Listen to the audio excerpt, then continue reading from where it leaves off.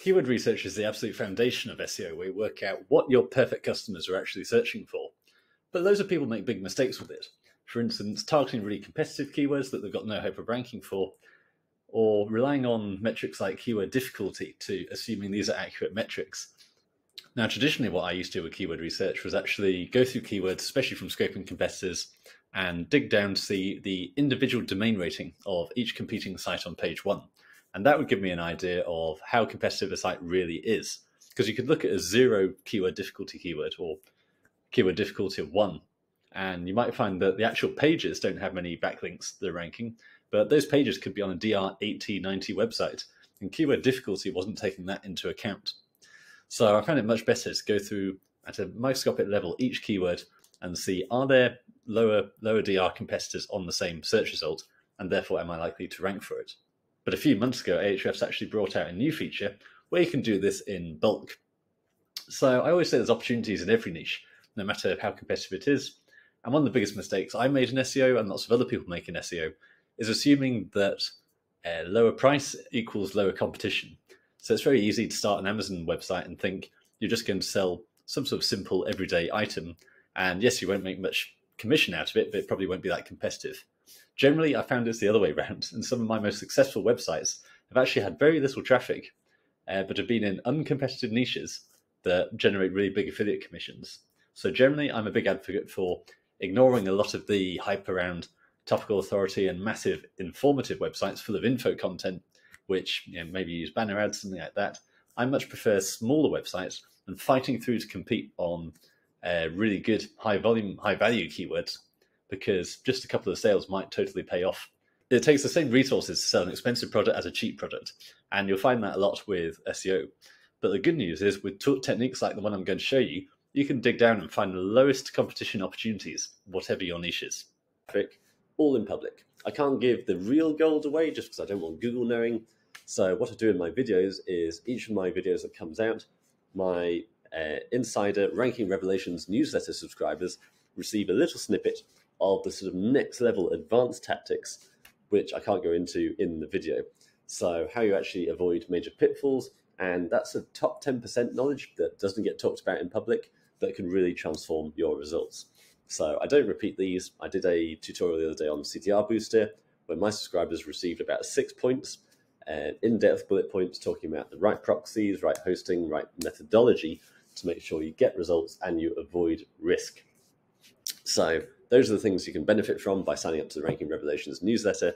And this public case study is going to be the same thing. The case study really is going to be public, but there are going to be some additional details that I can't simply blast out to everyone on YouTube, especially as my competitors might see.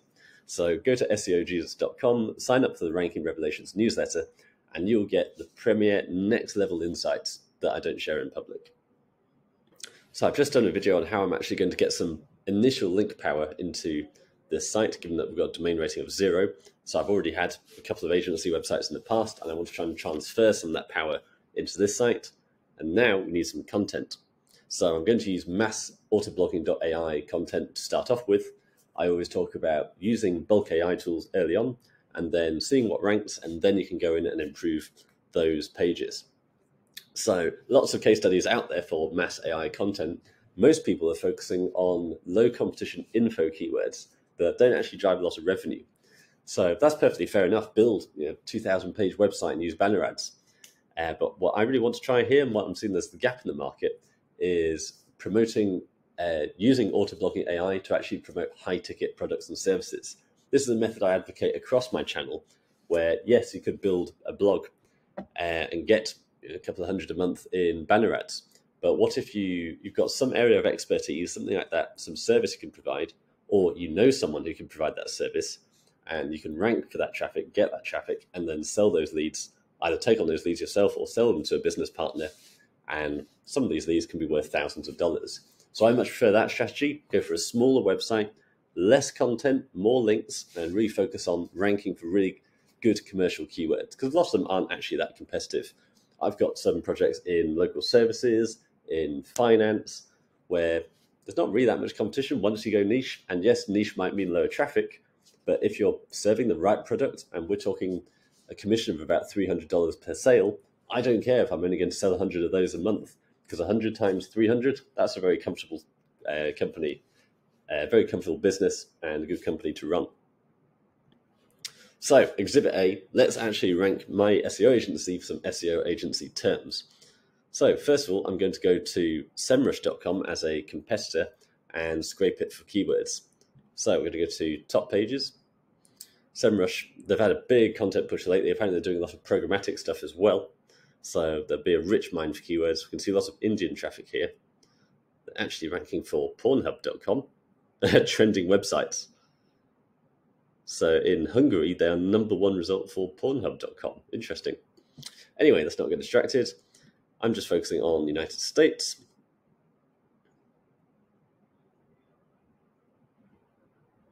So you've got 100,000 pages here. Uh, this is going to be challenging.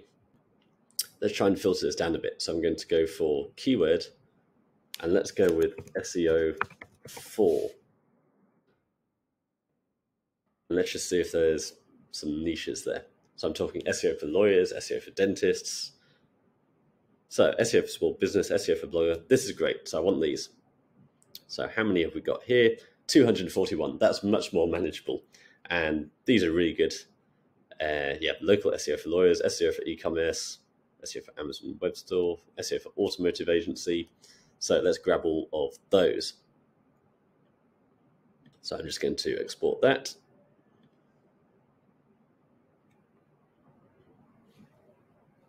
Now, the main deliverable I want to focus on is actually links. So let's do another keyword filter. And let's do backlinks and links. And it can be any rule, so either of these two. So let's see if we can get backlinks for X website. 400 pages, check backlinks, build backlinks, internal links, anchor links, outbound links, bad backlinks, canonical links. So this all looks pretty good.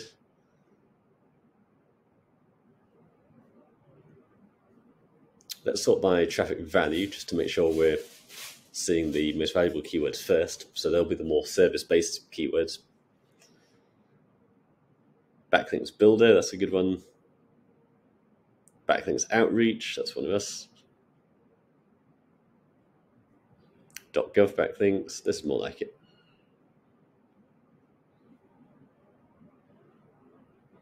And now some of these have got quite low volumes. So let's put in a minimum volume of 100.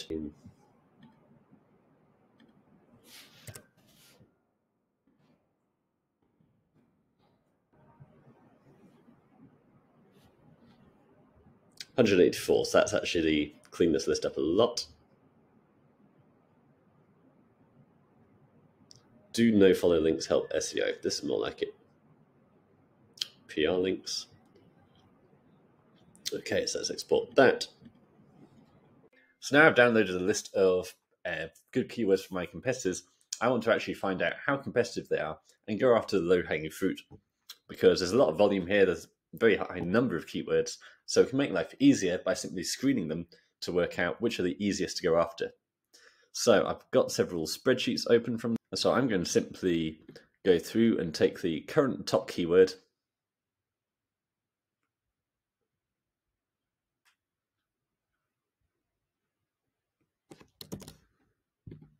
and paste that into the Ahrefs Keyword Explorer and repeat that for each of my downloads.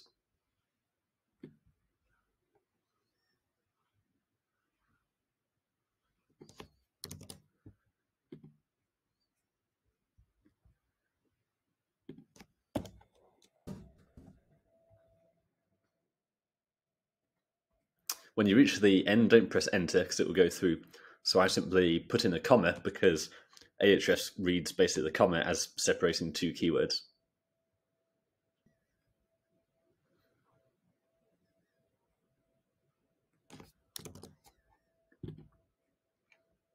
So same again here, not pressing enter, I just use a comma and then control V and we search.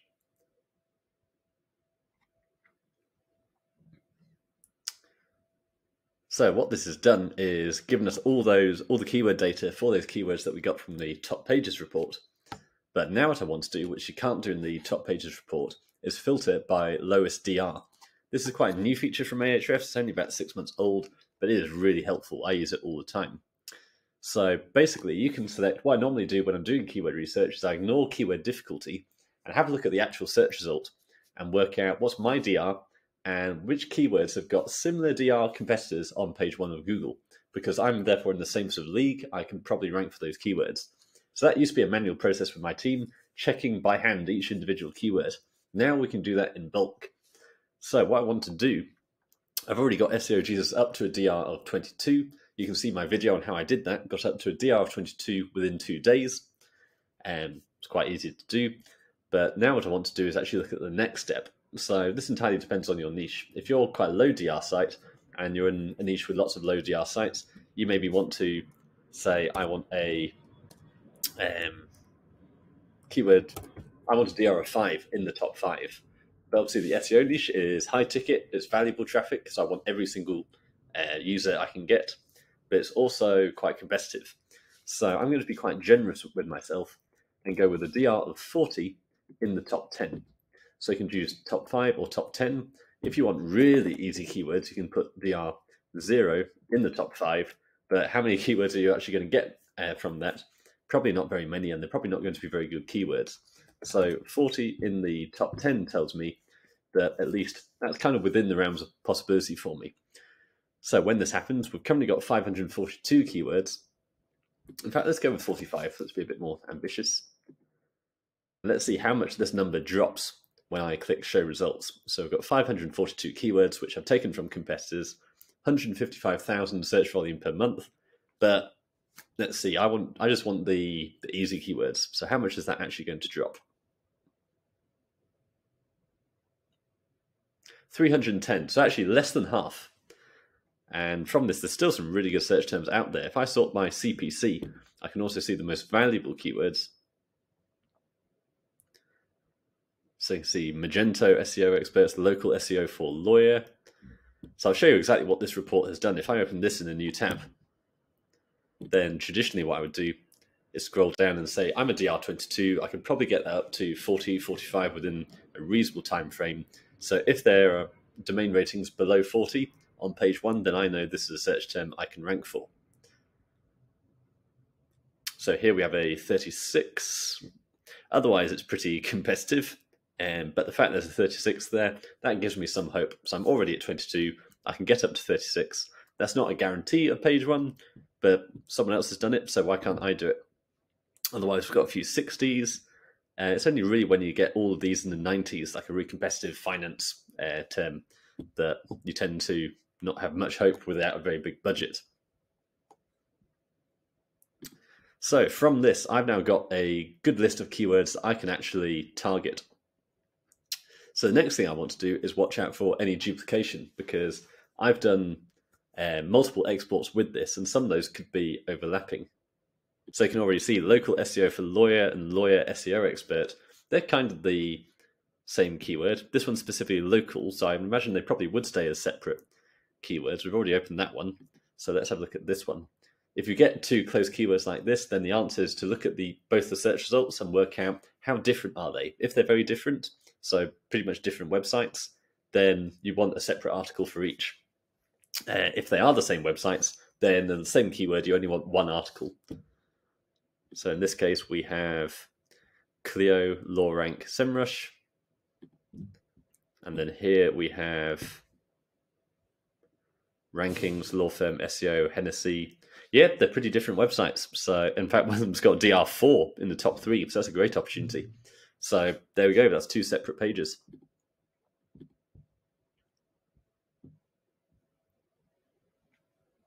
What I normally do at this point is actually export the list and put it into ChatGPT and ask it to remove overlapping search terms.